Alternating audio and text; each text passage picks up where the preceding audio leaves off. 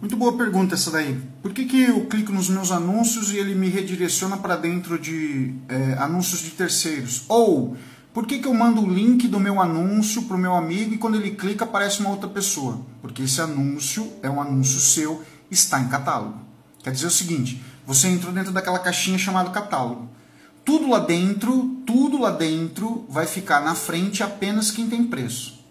Quem está no full leva uma certa vantagem, mas sempre a regra de ouro é ter melhor preço. Então, como você não tem o melhor preço naquele momento, e isso é momento, por quê? Porque o cara pode ter lá metade do preço seu, mas ele tem 10 peças, ele vendeu as 10 peças, ele sai da sua vida.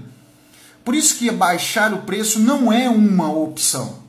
Porque você tem que saber a sua precificação. Se você ficar abaixando o preço toda vez que alguém abaixa o preço, às vezes o cara tem quatro volumes lá só, às vezes ele precisa pagar boleto hoje, então ele vende mais barato é, simplesmente para receber um dinheiro para poder pagar as contas dele.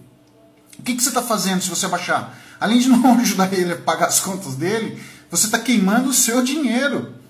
Não é para baixar. Então, o que, como que você tem que fazer? Você tem que criar um anúncio para que esse anúncio não entre em catálogo. Quando ele for elegível ao catálogo, já expliquei em vídeos passados, como você faz para tirar ele de catálogo. O anúncio só é seu se ao clicar nele aparecer você. Caso contrário, esse anúncio é um anúncio de catálogo. Então, ou, ou, esse anúncio está pausado seu.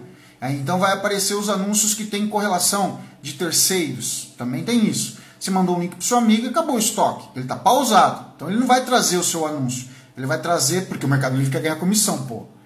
É, para você vai aparecer lá o anúncio pausado seu. Mas para quem você mandou o link, vai aparecer primeiro a relação de produtos que vai estar tá em cima de, de, de iguais ou semelhantes ao que você está vendendo. Aí embaixo ele vai mostrar lá, anúncio pausado.